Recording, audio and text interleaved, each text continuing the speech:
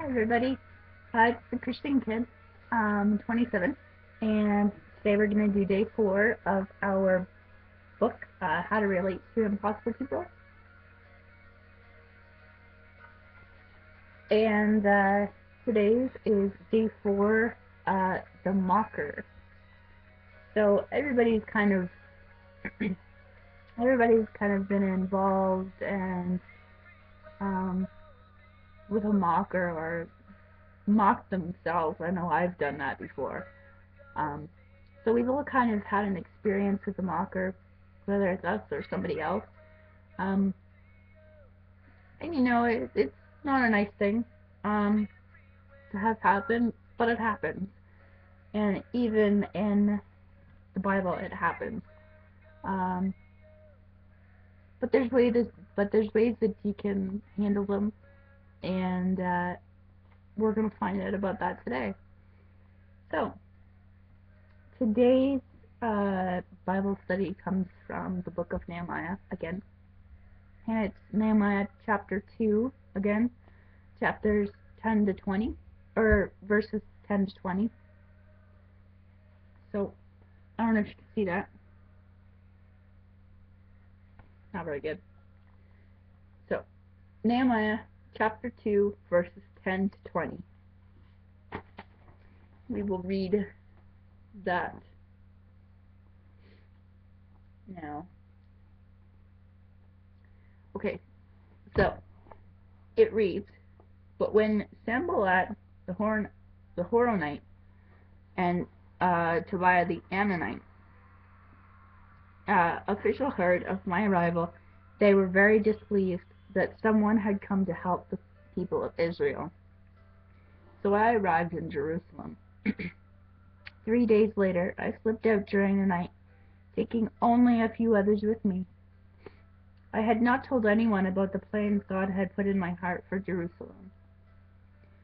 We took no pack animals with us except the donkey I was riding. After dark, I went through the valley uh, gate, past the jackal's well, and over the dung gate to inspect the broken walls and burned gates. Then I went to the fountain gate and to the king's pool, but my donkey couldn't get through the rubble. So, though it was still dark, I went up the Kidron Valley instead, inspecting the wall before I turned back, and entering again at the valley gate. The city officials did not know I had been out there or what I was doing, for I had not yet said anything to anyone about my plans. I had not yet spoken to the Jewish leaders, the priests, the nobles, or the officials, or anyone in the administration. But now I said to them, You know very well what trouble we are in. Jerusalem lies in ruins, and its gates have been destroyed by fire. Let us rebuild the wall of Jerusalem and end this disgrace. Then I told them about how the gracious hand of God had been on me, and about my conservation, con- conversation, sorry, with the king. They replied at once, "Yes, let's rebuild the wall." So they began to give work. But when Sanballat, Tobiah, and Geshem, the Arab, heard about our plan, they scoffed contemptu- contemptuously. Contemptuously. What are you doing? Are you rebelling against the king? they asked. I replied, The God of heaven will help us succeed. We, his servants, will start rebuilding the wall, but you have no share, legal right, or historic claim in Jerusalem. So, we've read our uh, reading for the for this uh, Bible study. So now it says that we are going to pray for determination to get the job done. So, let's pray. So, dear God, we come to you today and we ask that you give us the determination to get through those tough times when people scoff and mock at us and put us down and say we can't do it and that um, we'll never get there. What are you thinking? And they laugh at us and hurt us that you give us the determination and the strength to, to get through it. We pray that you hold us up and that you will lead us through and that everything will go according to your plan. In your name, amen. So, times get tough, and sometimes it is really, really hard um, to get through those times, especially when people are, you know, mean and they tell you, well, you'll never get there. What are you thinking? Are you crazy?" and stuff like that. And sometimes it really crushes people because what they want to do or what that dream or that passion that they have, you know, means something to them, and it crushes them. And uh, sometimes getting back on your feet after something like that can really be hard. And uh, that's why we need uh, God there for us, and He's always there for us. But He will support us and lift us up when we are weak and we're falling. He can help us. So, first question is the people living in Jerusalem area were discouraged, depressed, and defenseless. They needed the city wall for protection and unity. How did Nehemiah motivate them to get started rebuilding? So, he, he Nehemiah told them about uh, about what you know what they were going through. He said that you know this place is really bad. It's it's been through a lot. We have nothing. We have nothing right now, but we can rebuild it. And he said that you know they could rebuild it, rebuild the walls and the gates and stuff, and like end everything. So there was he there was a light at the end of the tunnel. He put that there um, to motivate them. Say this can end. This all can go away. You don't have to take this from other people. And that kind of got their spirits going, and they were like, okay, let's do this.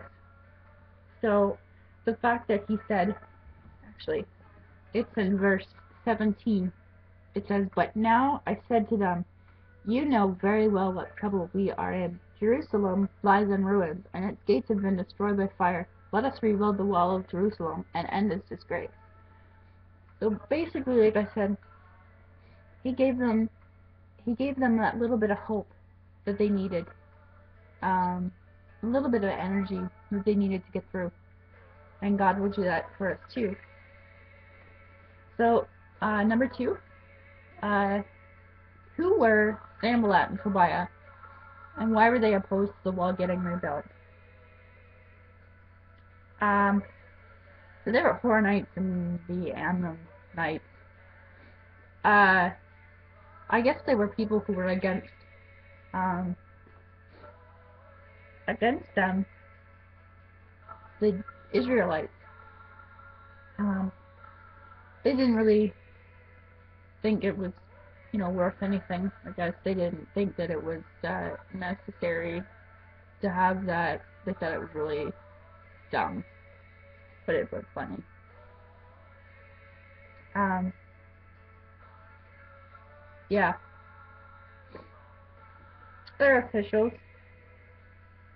And they just thought that, you know, it was kind of really stupid to to do it. So three is how did Nehemiah respond to mockery and ridicule? ridicule?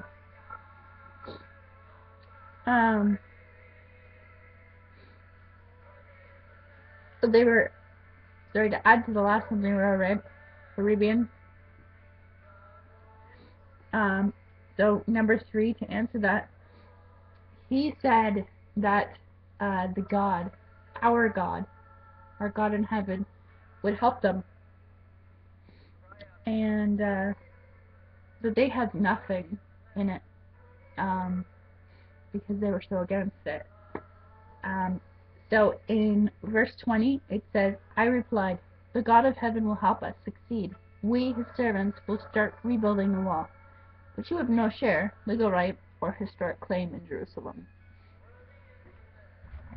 So, he, uh, he spoke to them in truth. Um, it may have been like harsh, like blunt, but the truth, um, truth always comes out. And uh, if you're wrong about something, and someone speaks the truth, pretty much ten times out of ten you don't have anything to say. Um, I know when I was wrong about things, and uh, like if I was mocking something or making fun of something, and somebody came back with the truth, it was like, ouch. I'm like, well, thinking like, well, what do I come back with that? And it really isn't anything, especially when they come back with the truth. And um, that's what he spoke of. He spoke of truth. He spoke of God's word, and that backs everything up. Basically, it was like a zipper being pulled over their mouth. They couldn't couldn't say anything. It was like, yeah, it was like you just got burned.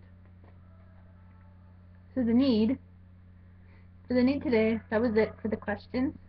And the need for today is pray that the Lord will help you handle ridicule and um, mocking remarks. So some of us um, tend to take things really seriously, more seriously than others. I know that I take some things more seriously than others, and you know it's harder to let things go. Um, maybe because some people have uh, bad experiences in life like that, like um, some people react to things because of experiences that they've had um, in their life um, is triggering to them. So uh, it may make them respond more negatively to things like that. So let's pray about that. Um, so God, we, we pray that you will help us handle the ridicule and the mocking remarks from other people, and that we will respond in a way that is in that reflects you and that re- reflects Jesus Christ. Um, that is of truth and not of mockery and ridicule itself. That we don't start arguments and that we don't start things that you know can can't be finished. Um, we pray that we uh, that your hand be on us the whole time. In your name, Amen. So that's it for today. So I hope you enjoyed this. This one was a little easier than the last one. Um, but uh, yeah, it's getting interesting. So I hope you guys will um, continue to come out and watch these as I'm having a lot of fun making them. I really like them. I like sharing them with you, and I hope that we can uh, we can keep going. Anyways, I will talk to you later and uh, I'll see you with the next one. Thanks. See you later.